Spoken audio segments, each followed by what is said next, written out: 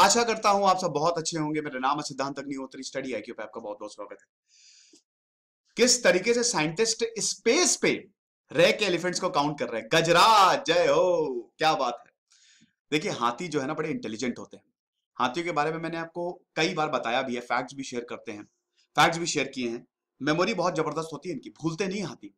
और बहुत ही intelligent group में रहते हैं और इमोशनल होते हैं, ये आपको पता है। हाथी जो है they are very very emotional लेकिन हाथियों की पोचिंग होती है, इनके दांत बहुत महँगे बिकते हैं, इनको मारा जाता है, इनका शिकार किया जाता है दोस्तों this is very very unfortunate तो किस तरीके से साइंटिस्ट एलिफेंट्स को स्पेस से काउंट कर रहा है? बड़ा इंपॉर्टेंट आर्टिकल है ये इंडियन एक्सप्रेस सोर्स अब से मैं सोर्स लिख दिया करूँगा, कहाँ से मैं ये आर्टिकल ला रहा हूँ? हालाँकि मैं बहुत सारे न्यूज़पेपर्स को सर्च करता हूँ, लेकिन जो डेटा का, जो प्राइमरी सोर्स रहेगा, वो मैं ज़रूर लिख दूँगा। तो रिपब्लिक डे सेल हमारी चालू है। आईबी की टेस्ट सीरीज़ हमने लॉन्च किया आप ज़रूर इसको अवेल करें। इंस्टा पे मैं आ गया आप मुझे यहाँ पे ज़रूर फॉलो करें। नेक्स्ट मंथ में ट्रैवल करने वाला हूँ। दोस्तों अच्छा ट्रैवल करने वाला हो तो अपडेट्स डालूँगा तो आप मुझसे मिल सकते हैं। कहने का मतलब ये था। अब देखिए साइंटिस्ट जो है वो हाई रेजोल्यूशन सैटेलाइट का यूज़ कर रहे है। भाई स्पेस पे आप काउंट कैसे करोगे? सैटेलाइट का यही तो बहुत बढ़िया चीज़ है। सबसे बड़ा एडवांटेज तो ये है कि सैटेलाइट ऊपर से सब कुछ दिखा देगी। कि कब कितने एलिफेंट्स हैं या जो भी काम है यार, कब वेदर खराब होने वाला है तो satellites are very very important तो वाइल्ड लाइफ स्पीशीज को पहली बार डिटेक्ट जो है वो किया गया इंक्लूडिंग अफ्रीकन एलिफेंट्स देखो, अगर हम एलिफेंट्स की बात करें, आपको पता ही है, जो हाथी है, हमारे यहाँ तो हाथी पूजनीय है। भगवान गणेश, हम उनकी पूजा करते हैं। हिंदुइज्म में ना नेचर को भगवान माना गया है शानदार। मतलब जब मैं इतनी सारी किताबें पढ़ता हूँ, धार्मिक ग्रंथ पढ़ता हूँ तो मुझे एक चीज़, उसका अगर कंक्लूजन है कि आप नेचर की पूजा करो nature will pay you back simple तो यहाँ पे मतलब यही है। अब एलिफेंट्स जो हैं दे आर एंडेंजर्ड क्या आपको पता है? 1972 में हमने project elephant wildlife protection act आया उसके शेड्यूल वन में हमारे में है। एलिफेंट्स की अगर बात करें तो दो कैटेगरीज है। पहले एशियन एलिफेंट्स, इसमें इंडियन, सुमात्रन और श्रीलंकन। ये तीन जगह आपको मिलेगी। बीस से चार बीस हज़ार से चालीस हज़ार के बीच में एशियन एलिफेंट्स की पॉपुलेशन होगी, जिसमें अकेले अट्ठाईस हज़ार भारत में है। कर्नाटक में सबसे ज़्यादा पच्चीस परसेंट मिलते हैं। एलिफेंट कॉरिडोर भी बनाने की कई बार बात की गई है। क्या है ना कि जंगलों के बीच से रेल्स जाते है रेलवे जाते तो कई बार एलिफेंट्स कट के मर जाते हैं। तो उनके लिए अलग कॉरिडोर बना दो। ह्यूमन एलिफेंट कॉन्फ्लिक्ट जो है वो कम हो सके। फिर आता है आपके अफ्रीकन एलिफेंट्स अफ्रीकन एलिफेंट जो है दे आर एक्चुअली वल्नरेबल देखिए एशियन एलिफेंट्स आर एंडेंजर्ड मतलब उनपे बहुत ज़्यादा खतरा है, इसीलिए हम उनको बहुत प्रोटेक्ट करते हैं. लेकिन अफ्रीकन एलिफेंट जिनकी पॉपुलेशन चार लाख है दे आर वल्नरेबल समझ गए? तो इसीलिए एलिफेंट्स को आयुसीएन की रेड लिस्ट बता रहा हूँ एंडेंजर्ड वल्नरेबल उनकी कैटेगरीज होती हैं. तो इसीलिए elephants are very very important हमको उनको बचाना है। The most intelligent species mammals which are roaming around the earth जो हमको बहुत अच्छा लगता है ना जब हाथी गुजर जाता है। हाथी बड़े प्यारे होते हैं, बड़े क्यूट होते हैं। And they are very human friendly तो इसीलिए एलिफेंट्स आर इंपॉर्टेंट अब इनको काउंट करने के लिए हम स्पेस टेक्नोलॉजी का यूज़ कर रहे हैं सैटेलाइट का यूज़ कर रहे हैं। ये आप देख सकते हैं कि जो टीम ऑफ़ रिसर्चर्स है from the university of Oxford wildlife conservation research unit and machine learning research group इन्होंने साउथ अफ्रीका में एलिफेंट्स को डिटेक्ट कर लिया, आर्टिफिशियल इंटेलिजेंस से, और इतनी गजब की एक्यूरेसी इतनी गजब की एक्यूरेसी की क्या बताए।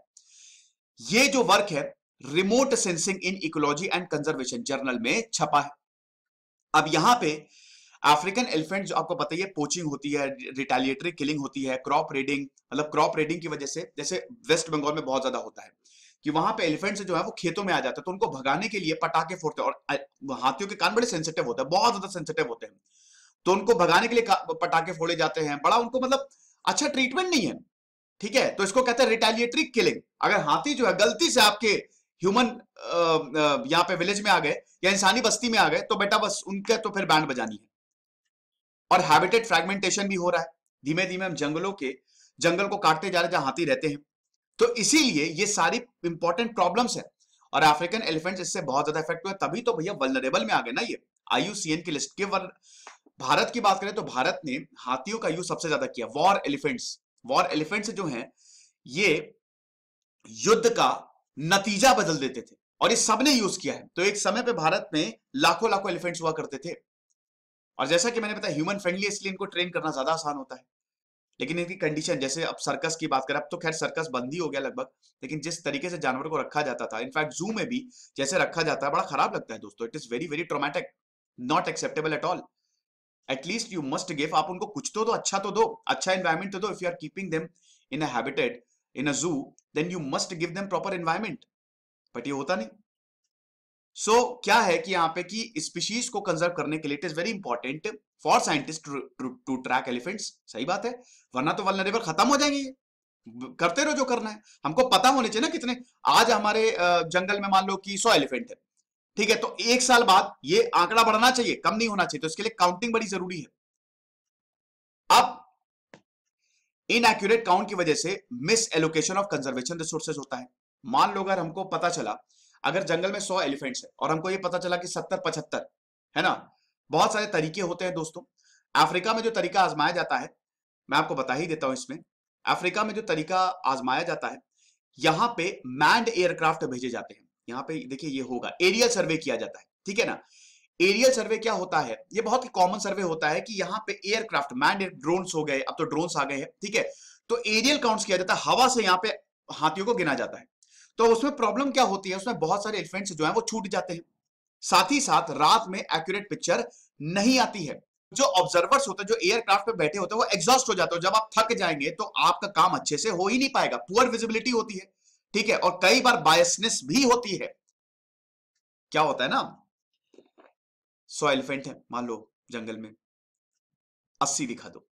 बीस एलिफेंट का क्या? मार के बेचेंगे कैसे? जो पोचर्स होते हैं ना, सीधा फॉरेस्ट से संपर्क करते हैं। बोलते हैं, यार, पैसा दो, हाथी के दांत लेंगे। पाँच लाख तुम्हारा, पाँच लाख मेरा। और अथॉरिटीज को कम दिखाओ। सिंपल। तो सौ एलिफेंट में अस्सी दिखाएँगे, बीस को मार देंगे। ये होता है। तो जब ह्यूमन जो है, सो है तो ह्यूमन इंटरवेंशन जब होगा तो इसी तरीके के रिज़ल्ट आएँगे। तो इसीलिए बायसनेस भी हमने देखी है। बेस्ट क्या सैटेलाइट से मेजर कर लो। सैटेलाइट से काउंट कर लो। कोई आपको प्रॉब्लम होनी ही नहीं है। तो इसीलिए ये काउंटिंग बड़ी इंपॉर्टेंट है। इस तरीके के काउंट की, इस तरीके से काउंट किया गया है। ठीक है? यहाँ पे यहाँ पे आप देख सकते हैं ना। और ये मेरा टेलीग्राम चैनल आप इसको ज़रूर ज्वाइन करें। है ना? ये मैं आगे आ गया था एक्चुअली स्लाइड में। अभी तेरह हज़ार दो सौ सब्सक्राइबर है। आपको बड़ा फ़ायदा होगा क्योंकि यहाँ पे सारी पीडीएफ मिल जाती है ओरिजिनल है मेरा। इसीलिए मैं सब्सक्राइबर काउंट बताता रहता हूँ मेरा फेक चैनल भी चल रहा है। मुझे कोई प्रॉब्लम नहीं है फेक चैनल से मतलब ठीक है, वो भी नॉलेज दे रहे हैं सच मुझे कोई दिक्कत नहीं है। लेकिन बस मुझे ये लगता है कि कुछ ऐसा वैसा वो लोग ना डाल दें जो अब क्योंकि अगर मान लीजिए कि उन्होंने कुछ भी गलत डाला तो आप मुझे ही पकड़ेंगे। बल्कि मेरा फेक चैनल है, इसीलिए।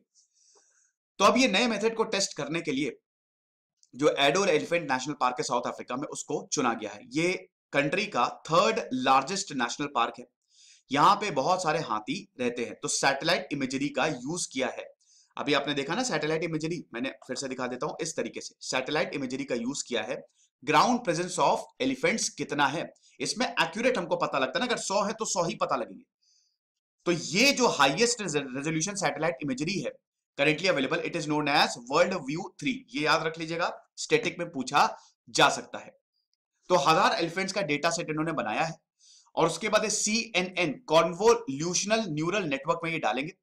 और उसके बाद दे विल अब देखिए they will compare the result to human performance हमने तो हज़ार एलिफेंट से हज़ारों का हमने डेटा निकाल लिया। हज़ार एलिफेंट बता दिए। आपने कितना बताया? इंसानों ने कितना बताया? जब एरियल एरियल व्यू लेते थे लोग सर्वे होता था एरियल सर्वे तो आप कितना बताते थे? कंपेयर होगा ये। अब ये पहली स्टडी नहीं है। 2002 में दोस्तों ऐसी स्टडी हुई थी जब जोग्राफिकल इंफॉर्मेशन सिस्टम टेक्नोलॉजी ने ये दिखाया था कि किस तरीके से ये एशियन एलिफेंट्स को कंजर्व कर सकते हैं थ्रू सैटेलाइट और उसके बाद साइंटिस्ट ने first satellite tracking project Asian elephants का म्यांमार में लॉन्च भी किया था।